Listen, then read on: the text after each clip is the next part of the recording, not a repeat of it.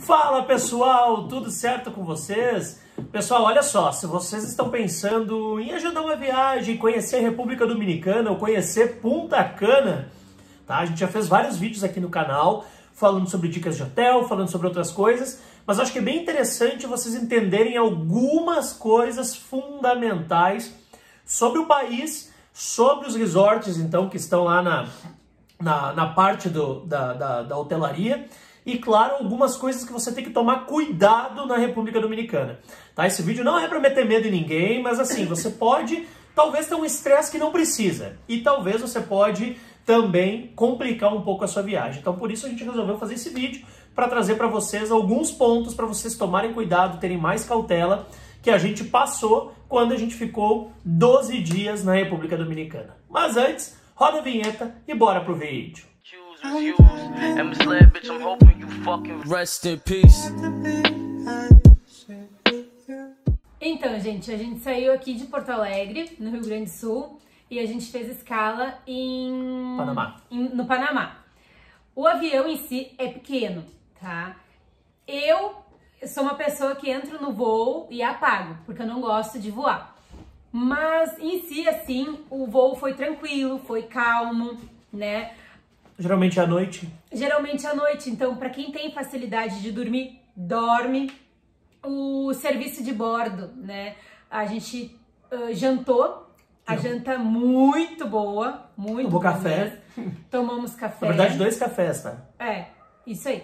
E e é isso, né? É, o que, que é interessante até para esse ponto, assim, para você ver, claro, a gente sabe que as passagens internacionais geralmente são caras, tá?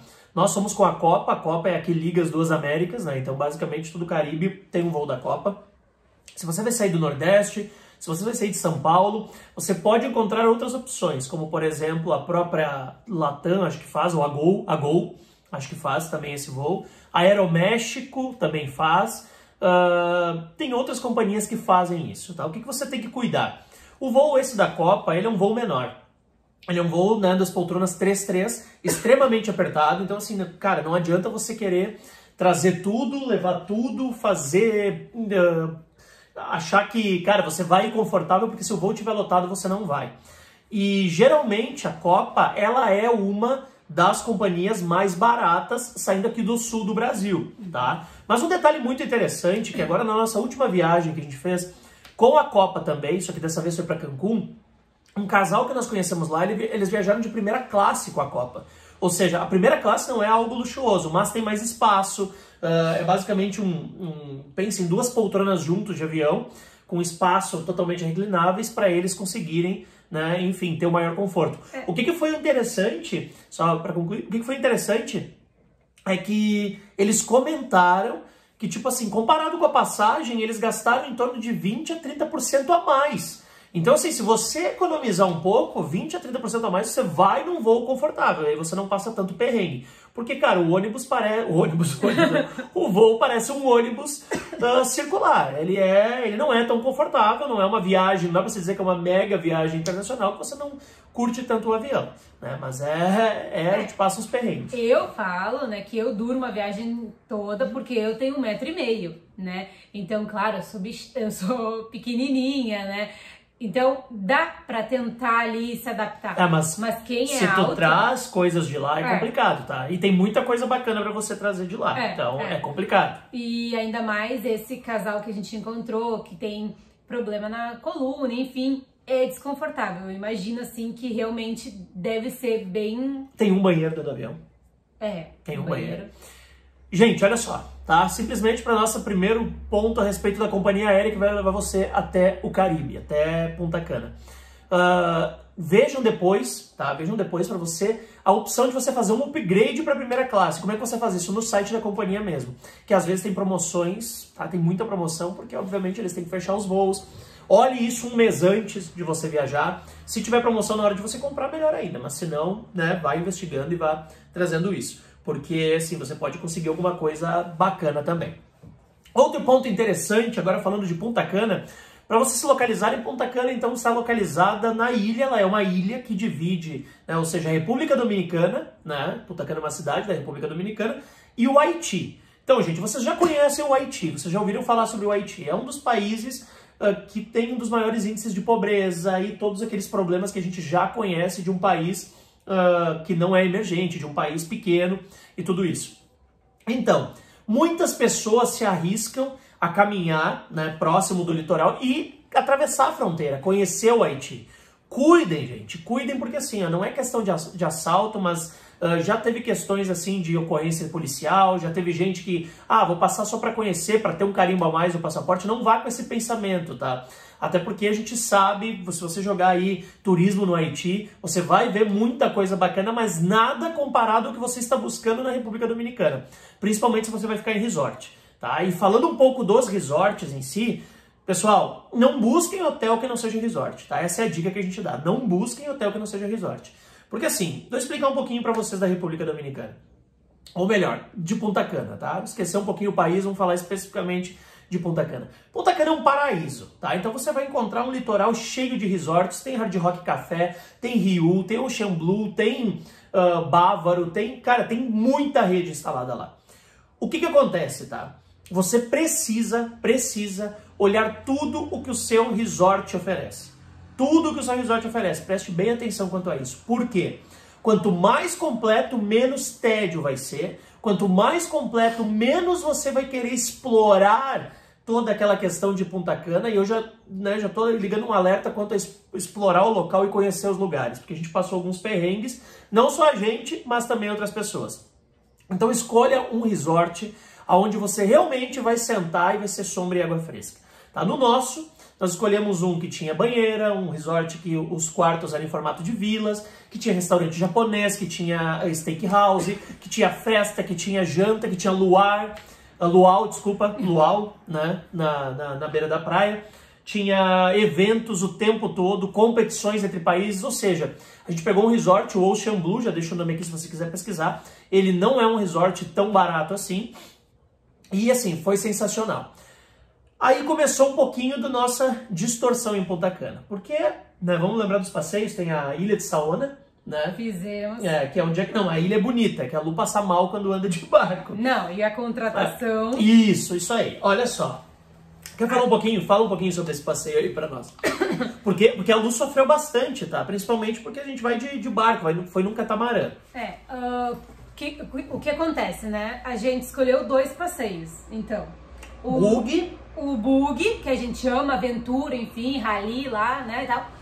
E a Ilha de Saona. E a gente pegou os Detalhe, dois passeios. A Ilha de Saona foi gravado Piratas do Caribe e Lagoa Azul. Então ela é extremamente assim, ó.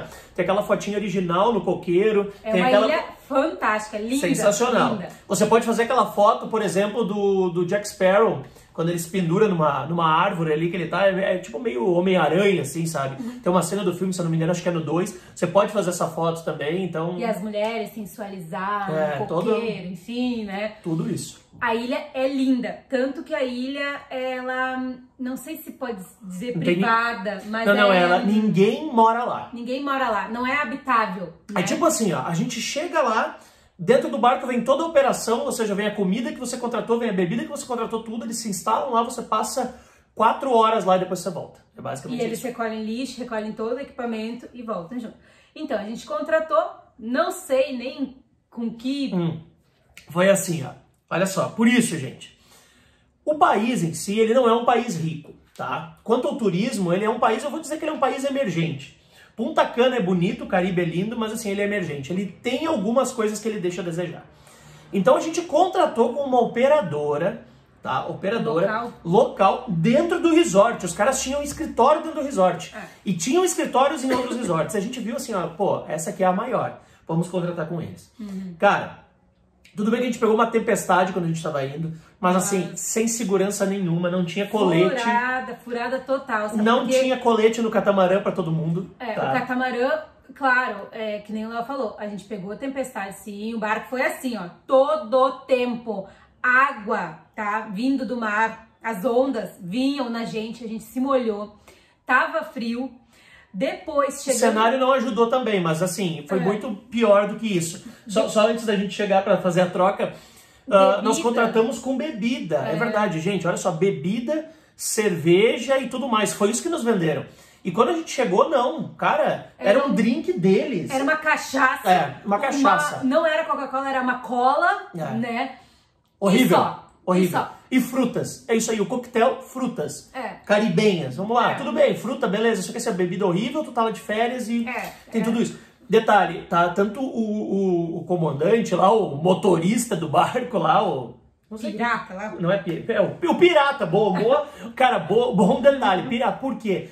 Extremamente mais novos, assim, e assim, de olho numas menininhas que estavam lá fazendo passeio. Cara, assim, responsabilidade zero, tá? Até chegar na pior parte do passeio, que foi quando a gente foi migrar de um barco pro outro. Gente, a onda tava assim, tá? E é- ah, e detalhe, a gente ama a festa, ama uma muvuca.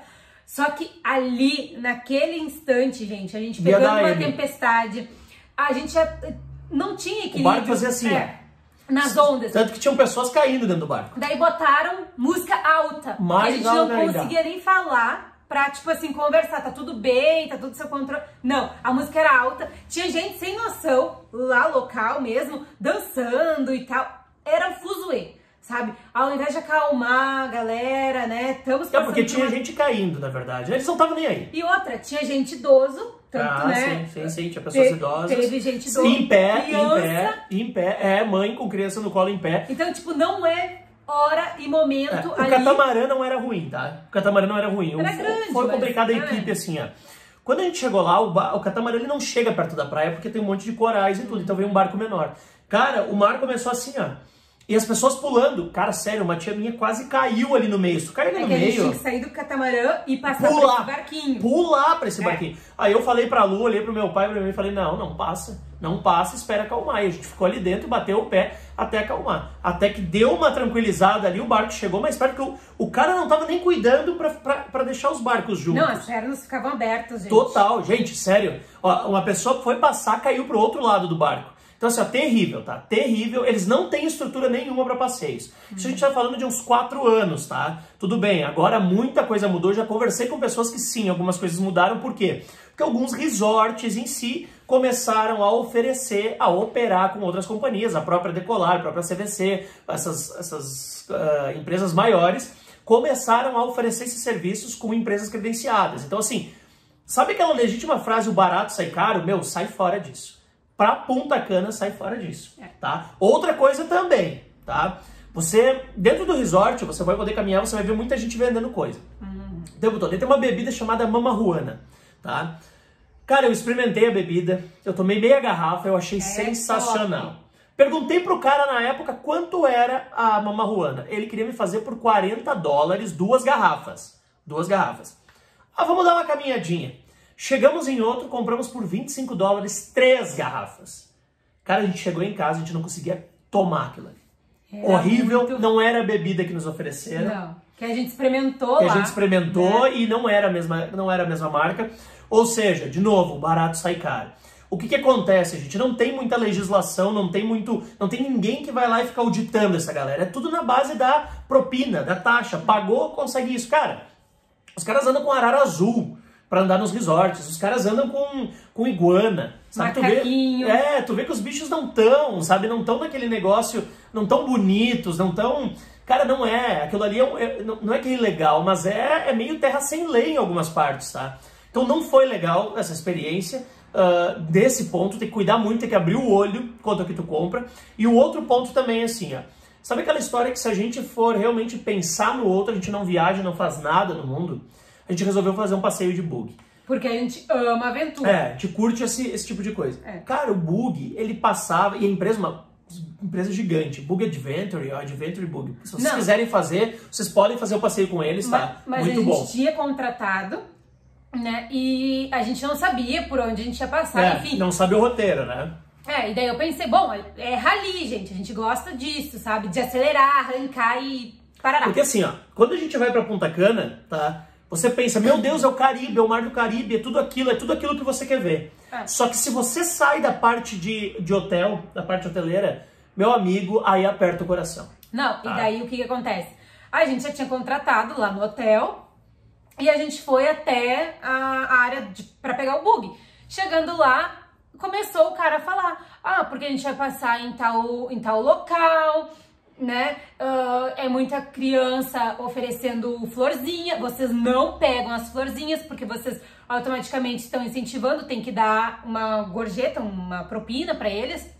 Ah, não, e outra, eles vêm próximo, eles vêm próximo perigo, às rodas do bug. É, perigo da gente atropelar eles, se gente, a gente pega. sério, na minha vida eu nunca tinha visto um lugar onde é que é muito fácil atropelar alguém. É. Sério, e eles vêm com fácil. cartinha, tipo, pra te pegar, não peguem, nada. Ah, se você se olhar aqui atrás, tá aqui, ó, aqui você tá vendo aqui, ó, opa, pra cá. Ali, ó, a partezinha marrom é a porta. Ali, basicamente, é um corredorzinho que a gente tem aqui. Nós via casinhas assim com 11 crianças dentro. Sério, gente, é o extremo, extremo, extremo da pobreza. As crianças com aquelas barriguinhas, sabe? Que tu sabe que é verme, sabe que não é muitos desnutridos. Cara, eu tive uma visão assim que, tipo, não era o que eu queria ver nas férias. Eu sei que isso existe, eu sei que isso é um choque de realidade, mas não era o que eu queria ver nas férias. E ainda mais que, o que, que as pessoas fazem, né? Os bugs que puxam, que são da, das empresas. Eles já vão xingando para sair do, do meio do caminho. Ou seja, você tá lá num resort comendo, fazendo um monte de coisa, você vai fazer um passeio desse e você se bate com aquela miséria, com aquela pobreza. Aí a gente chegou numa praia, onde nada, é que eles vinham? Nada a ver a praia. É, a praia não era, não era interessante, não era interessante mais do que aquilo que a gente viu lá. E a nossa aventura... Nossa aventura... Nem foi aventura. É, porque, na verdade tipo... foi embarrar um pouco o bug, porque... É, mas tipo, daí o, o, a nossa, né, a, a, ali a nossa euforia de andar de bug, enfim foi por água abaixo, porque a gente passou, né, uh, as trilhas no meio dessa pobreza, daí chegando lá, onde é que dava para arrancar um pouquinho mais numa praia, a praia nem era tudo isso, sabe? Então, assim, passeio de ah. bug realmente deixou muito, muito a desejar. É, assim, porque pelo por todo não o contexto, mesmo. Que não é o que tu, que não é o que a gente busca quando a gente vai para um resort. É. Outro ponto também para você cuidar dentro dos resorts, tá? Primeiro, Cuide de alguns restaurantes, porque você precisa reservar pela manhã. Por exemplo, no nosso caso, o restaurante chinês e o italiano de manhã. Cuide também a questão, porque tem restaurantes que você só entra com calça, você não pode entrar de bermuda. Tem não isso. entramos um. Não entramos, nós não conhecemos o restaurante. E o principal, gente, dentro dos resorts, tem aquelas empresas que querem vender uh, a parte premium, né? Ou seja, eles querem que tu, que tu pague um valor mensal e daí você pode veranear aqui, aqui, aqui todo ano e você paga uma taxa só para vir. Ou seja, a questão é que a gente foi lá escutar, porque a gente estava de férias. Só que, cara, eles seguraram a gente três horas, com espumante, com coisa. Eles forçam a barra para fechar. Eles forçam, no momento que eles veem que você não quer fechar ali, eles já começam a fazer pouco caso de vocês. Ou seja, eles querem o seu dinheiro. Então, assim, também fujam disso, tá? Fujam dessa parte.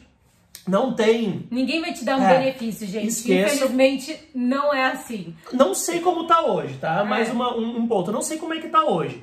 Mas assim, Ponta Cana, eu tive a impressão que se eu não desse gorjeta, mesmo o resort sendo tudo all inclusive, eu não tinha tanta empatia com as pessoas. Né? Por exemplo, tinha 10 ali no balcão, o que deu gorjeta era atendido primeiro. Cancún eu já não vi isso. Uhum. Cancún, não, a gorjeta, ninguém pegava a gorjeta, tinha uma, um cofrinho para te botar ali dentro, pra todos, entre todos. É. Então, por mais que a gente sabe que é para todos e que tu entrega muitas vezes para as pessoas, tem que cuidar também essa questão, tá? Então, talvez você tenha que dar gorjeta mesmo estando ao inclusive. E não adianta a gente querer reclamar, não adianta querer... Porque assim, é, tu vai ter o problema, tudo bem, não sei se né, no seu caso, mas pode ter o problema do idioma, pode ter o problema de estragar as suas férias. Então cuidem muito com essa questão, tá? Cuidem com isso. Cuidem primeiro, então, com o voo, porque você pode sim ter um upgrade, você pode ir mais confortável. Cuide com os passeios, porque você não vai ver o luxo do resort, não vai ser sombra e água fresca como é, não vai ser, tá? Ainda mais tratando ali de Punta Cana. Escolha um resort muito bom para você ter muitas atividades, para você não ficar naquele tédio, tá? Isso vale muito a pena, gente, sério. Muito a pena escolher um resort, se puder ter golfe, balada, tudo escolham. E, não é, tem preço, e, tá? Na verdade, a gente nem precisaria ter feito o passeio do bug, né? A gente sabe Claro, o de Saona é. é, bonito ali. Não, o de Saona é lindo, mas a, o, o, o, passeio do bug foi. É, o problema é a estrutura das empresas que operam. É. E assim, um detalhe interessante: tem o Hard Rock Café Hotel. Então você pode visitar o Hard Rock à noite, você pode pegar um táxi, alguma coisa, pedir para alguém chamar um transporte e você visitar. E lá tem cassino e tem outras coisas. Então tem coisas para você fazer. Mas cuide, gente, não vá assim, ó, olhar aquela fotografia da ilha de Saona, uh, pegar o preço mais barato, negociar. Se eu fosse dar uma dica para vocês, eu não negociaria tanto em Punta Cana. Cancún já é um pouco diferente. Cancún, quando a gente foi, negocia o preço mais baixo, que tem estrutura. Ali não tinha tanta estrutura. E conversando com alguns amigos, até hoje é assim, tá? Cuidem muito com isso, tá? Cuidem muito com isso. Porque é um espetáculo, é um paraíso, sim, tá? Não é só coisa ruim. A gente já fez um vídeo falando bem tá aqui no canal também. Dessa vez a gente quis alertar sobre algumas coisas. Não é tocar o terror em ninguém, não é isso, tá longe disso, mas cuidem pra, porque daí você realmente vai curtir as suas férias da forma como você deve. Tá bom, gente? Acho que é isso, né? Deu falando bastante. Então, gostou do vídeo? Por favor, já capricha no like aqui embaixo. Se não é inscrito, se inscreve no canal. A gente vai ficando por aqui, então. Qualquer coisa, gente, já foi para Punta Cana? Conhece alguém que é para Punta Cana? Manda esse vídeo para pessoa e comenta aqui embaixo como foi a sua experiência também, tá? Beijão, até a próxima. Até mais. Rest in peace.